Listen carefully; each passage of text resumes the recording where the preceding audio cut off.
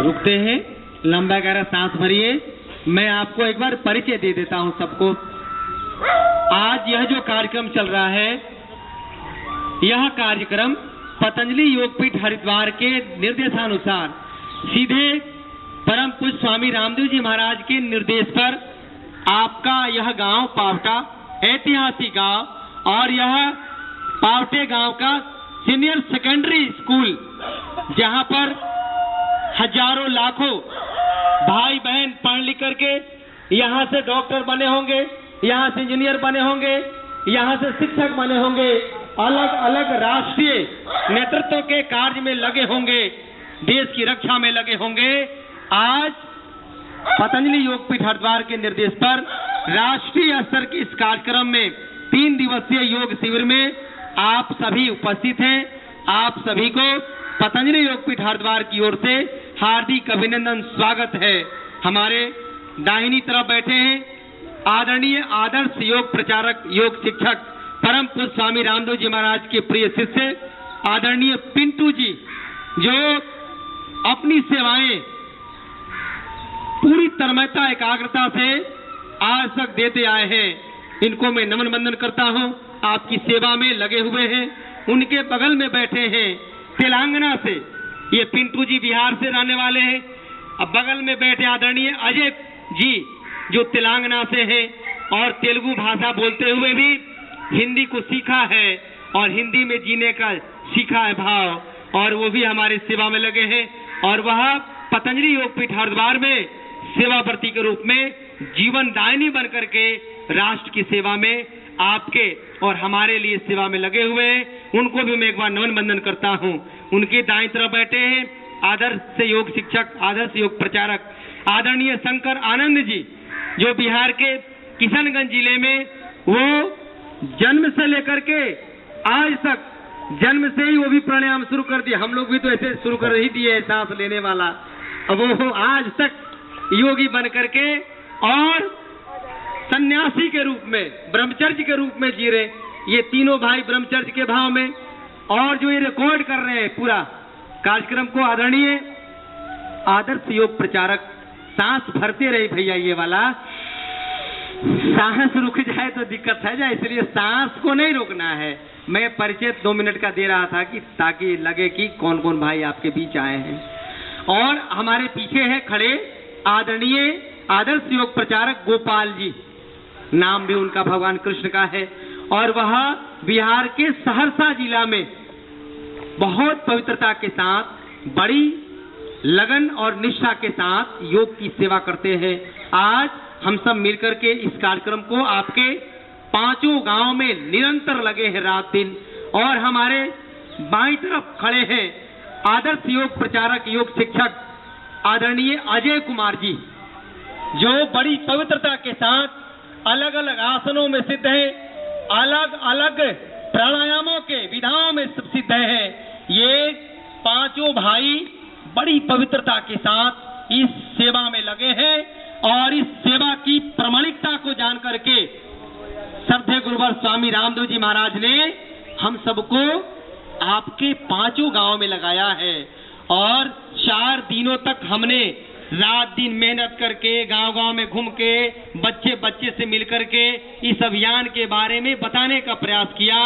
और चार दिनों के बाद, गोड्डा मोहब्बाबाद में तीन दिनों का शिविर लगा और उसमें चार पाँच सौ से ज़्यादा भाइयों ने, और बड़ी बात है कि ज़्यादा से ज़्यादा माताओं ने भाग लिया। और परसों समापन का दिन था। माताओं के द्वारा हवन यज्ञ का भी कार्यक्रम किया गया। यह बहुत ही बड़ी बात है। और आज से पावटा ग्राम के सीनियर सेकेंडरी स्कूल में यह तीन दिनों का तीन दिवसीय निशुल्क योग शिविर चल रहा है।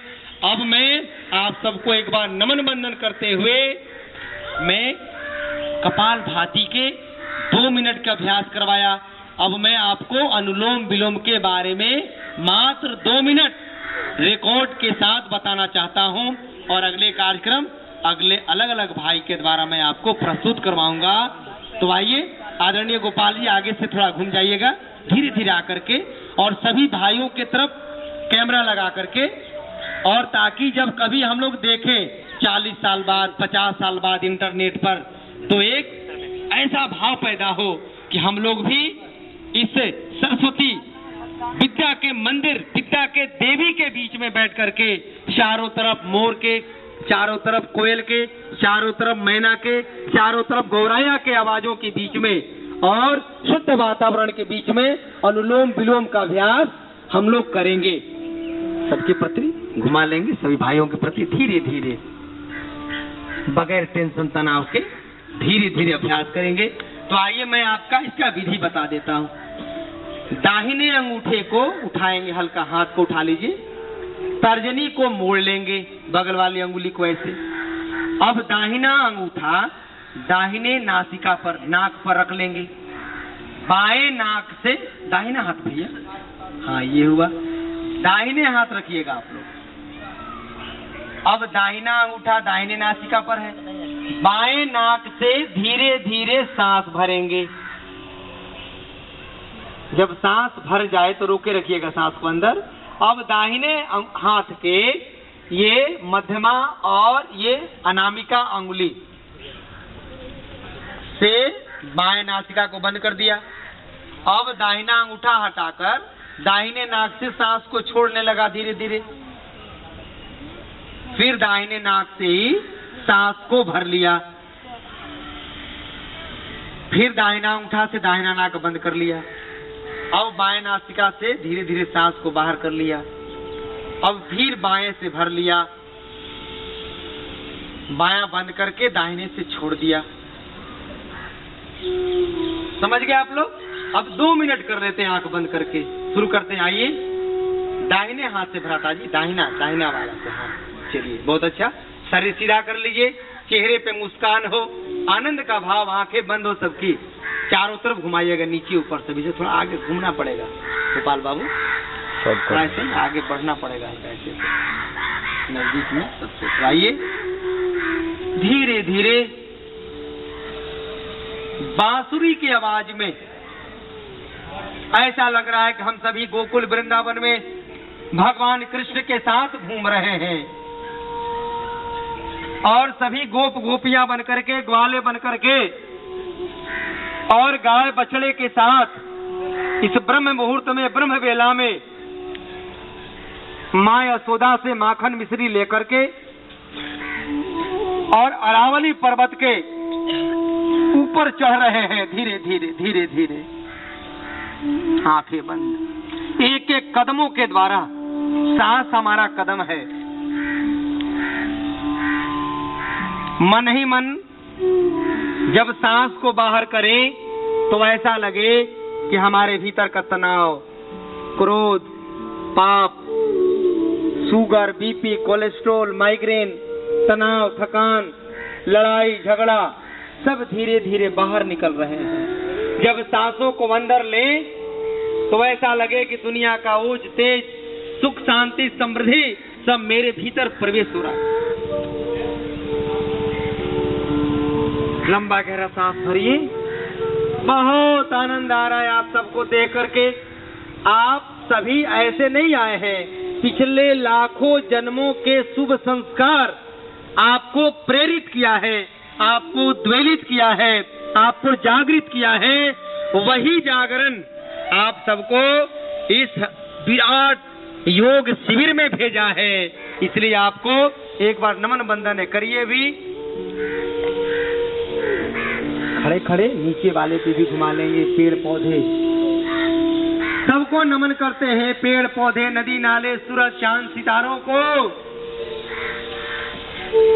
अय भारत माता, हम सभी गर्वान्वित हैं कि हमारा जन्म भारत भूमि पे हुआ है और माँ के गोद से, माँ भारती के गोद में जन्म लेकर के माँ भारती की सेवा में लगे हैं।